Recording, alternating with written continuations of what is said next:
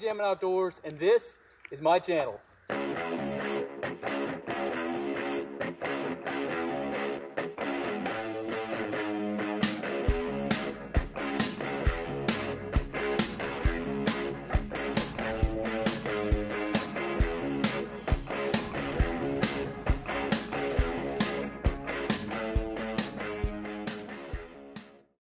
Welcome back y'all. So today we're actually working on the 1974 F100. So previous video, we got it running, we rebuilt the carb, runs great, super excited. Next step is to actually get it drivable. Now it's in gear, don't really know why it is. Um, the shifter is not working. Now, one thing about this truck was it previously was a three on the tree. If you don't know what that is, um, you act, it was a manual shift but you shifted on the column sort of like, you know, newer trucks. Um, except it was actual manual. You had to do it every single gear, which there's only three because there's three on the tree. Um, but I think something happened to the column. I think where the, you know, the lever uh, spins or something down on the inside of the engine bay. Something happened to that or whatever. And so they switched, they cut a hole in the floor and actually switched it to a three on the floor. Um, I don't know if they, I don't think they came that way. Um, I don't know though. Honestly, I wasn't alive in 74, so. But anyway, I gotta figure out what's wrong with it, why it's not shifting. Um, so I'm gonna have to hop underneath, look at the linkages and see what I need to do, see if I need to order any parts. And then also, I have the drive shaft for it. I just have to clean it up and so I can throw it in there and hopefully I'll be able to drive it around in this video. Let's get into it.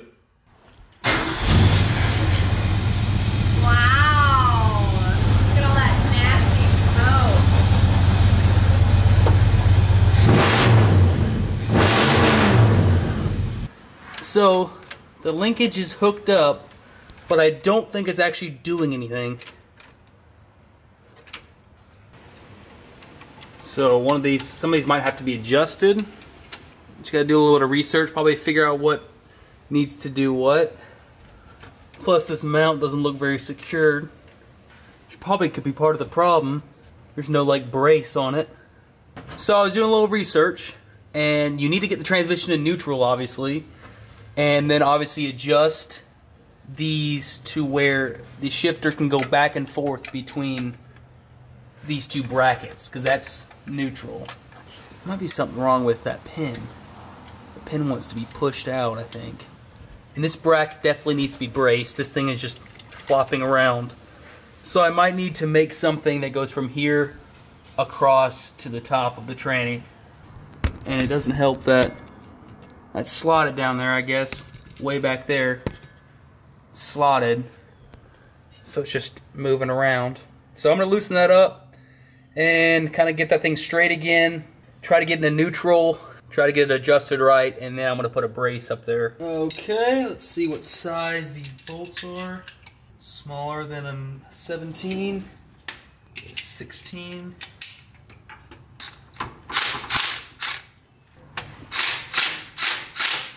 Looks like this pin that goes on the shifter right there that goes between um, both those linkages. It goes in between like that. Looks like this side is worn out. Might need to replace that little pin if I can. Oh! So there is neutral. Spin the drive shaft and then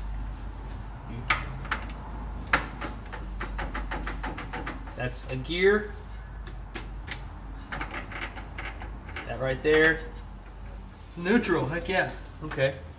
So, to my understanding, you gotta pull these cotter pins out, get these to line up perfectly straight. So like the shifter, you can move back to side to side and go in each one and be able to shift. I'm gonna go ahead and take these cotter pins out so I can adjust them or they're not cotter pins, they're just bent pieces of metal. Kind of, I guess you just want to set it in the middle of that movement. Let's go in a little bit more. One of these brackets right here are super loose. I'm gonna see if I can tighten that up so there's less slop. So I got it, it goes back and forth. Now, this pin right here is the only issue now. So I'm either gonna have to pull it out, try to re-weld it, build it back up, and then sand it back down, or just buy a new pin. I don't know if you can easily buy that at the store or not, but I guess we'll see. I'm gonna pull all that assembly off, pull that pin out, and then um, see if I can look up the part, see if it's local. If not, I probably just uh, get my TIG welder out and build that metal back up and then grind it back down.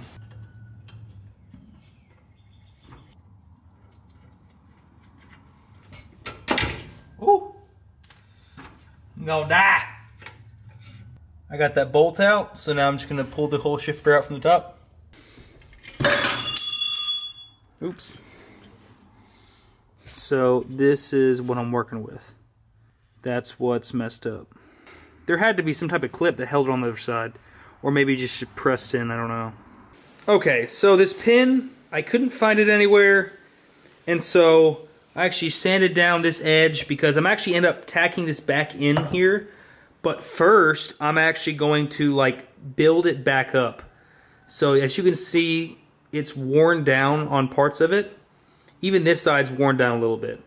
So I'm actually going to go around it and build it back up.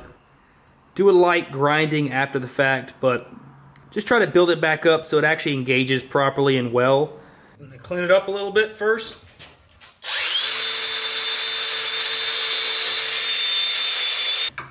Beautiful. Now I'm to clean it off with some lacquer thinner.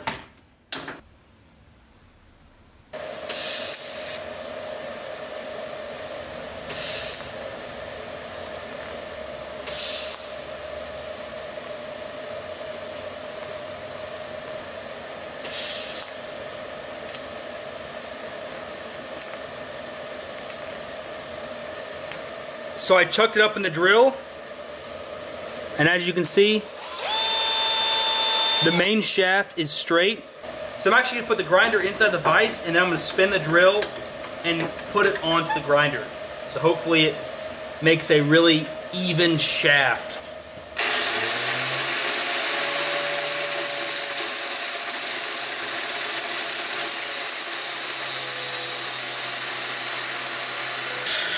Here it is.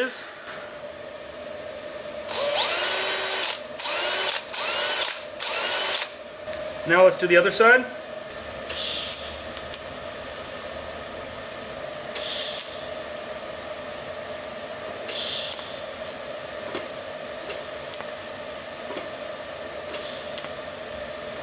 So I'm done with the piece.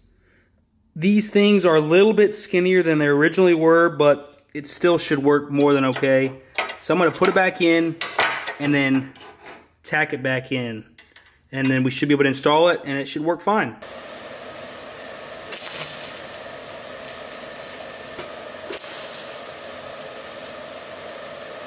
Heck yeah, that'll work. So I got it mocked up on the table and as you can see here, if I get these things lined up, so it's currently resting in this position and it's got a little bit of lip and then you move it over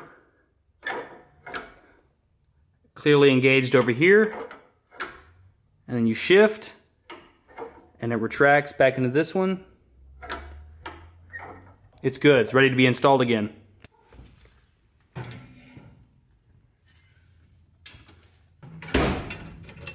So I have just the shifter rod and it's not really comfortable to shift with. And I was looking and I had a nut that is the right thread pattern.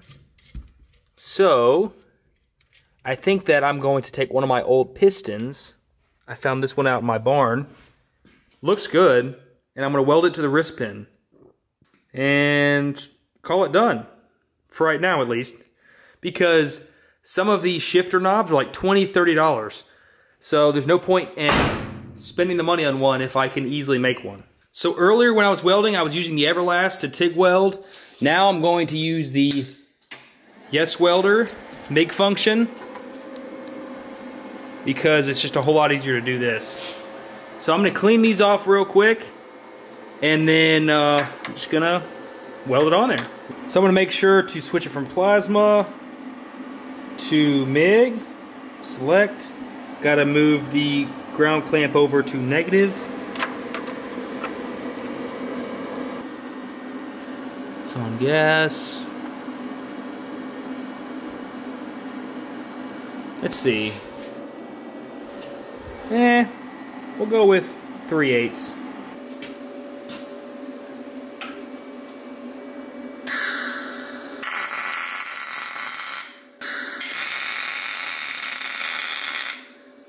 Well, I kind of fully committed to welding this nut on there, so I'm probably have to find another nut and weld it to this one. Oh well, that was my mistake. Probably shouldn't have welded inside where the threads were anyway, but it is what it is.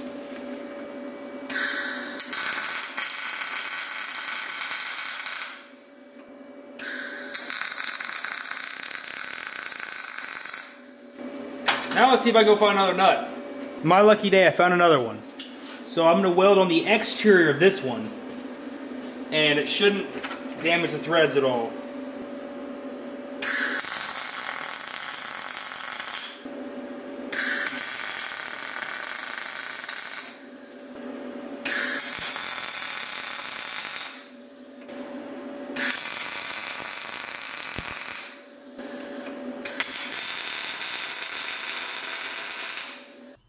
So here's the finished product. Obviously, they're not beautiful welds. I mean, obviously, there was enough fusion. They don't look bad, but, you know, I don't really care about the look so much. But that welder does do great. I am thankful for that thing. But I actually ended up having to find another nut that fits on here to be like a lock nut. So I ended up having to have three of the same thread patterns for this thing. But it's not a big deal. So I'm going to thread it on there. And just turn it where I want it and then I'm going to lock it. Just take a crescent and uh, lock that back one. But obviously I'm in gear but you know it, it works. Uh, that's that's uh, I think that's reverse. First. Back to neutral and then third and fourth I believe something like that anyway it works looks good it's not the most comfortable thing, but it'll work temporarily until I start driving the truck more often. So I went and got the drive shaft from the barn and the U-joint over here, it's a little rough right here, but these are good. I have the other cap over there on the countertop. And this U-joint is more than okay, actually. It's, it's pretty good. Um, and then I'll probably grease that after the fact. Unfortunately, none of these U-joints are greasable. These I have to put grease in the caps before I put them on, but these are actually pretty good.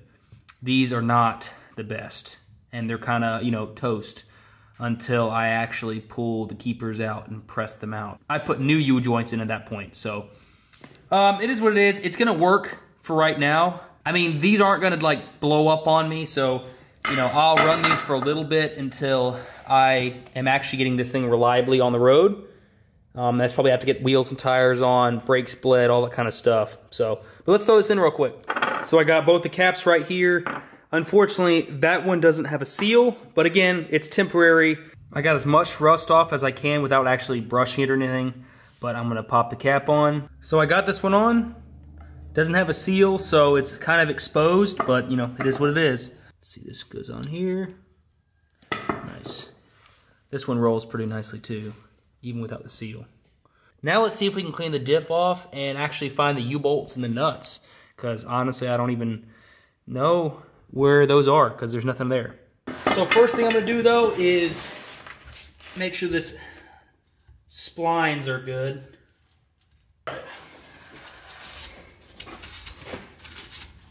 Now we're going to put some grease on it.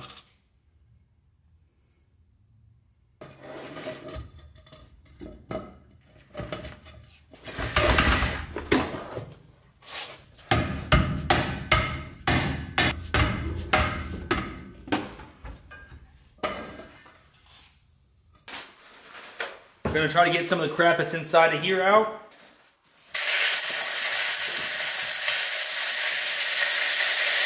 Now I'm gonna take a file and just try to clean up those edges a little bit, maybe.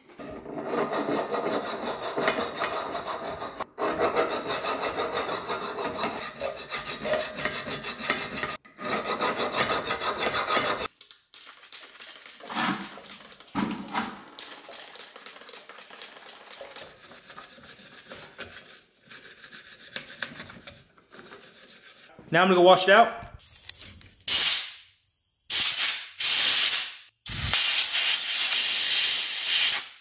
So I found the U-joint straps inside the hardware bin. Um, I cleaned up the threads and made sure they threaded on good. So I cleaned off inside of this one. So we'll see if it slides on.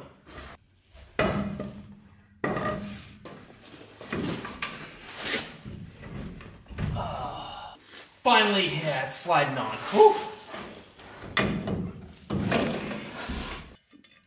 Put these in. Lock washer, nut. All right, drive shaft is hooked up. If I wanted to take it for a test ride right now, I could, but it's nighttime. So now that I got everything hooked up, I am going to pull the truck out into where my F-250 normally sits so I can gain the space back for my bikes. They've all been crammed over here and it's been real tight recently and my girl really probably doesn't love the truck being right here. So we're gonna pull it out there and let's see how it goes.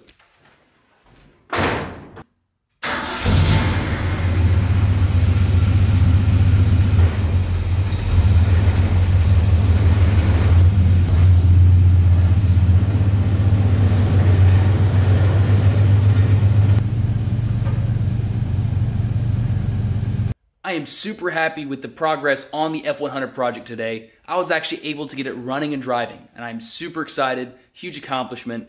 But next step is getting it on the road. So there's a few things I need to do before then.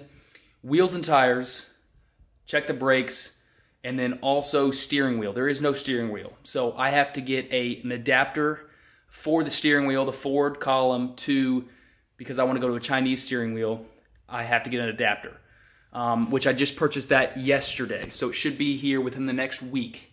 Um, I actually purchased a set of wheels and tires already, so I need to get adapters because this is a 5 by 5.5 and I'm going to a 6 by 5.5.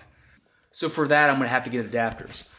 For brakes, I don't know if I'm going to have to replace anything. It does stop. I might just be able to do a fluid flush, but it might make sense just in the name of safety to replace stuff but I guess we'll see when we tear into it. When I pull the wheels off to switch um, to the new wheels, I'm gonna just check everything, verify everything, probably do a fluid flush, um, and then we'll go from there. But until next time, catch you on the flip side.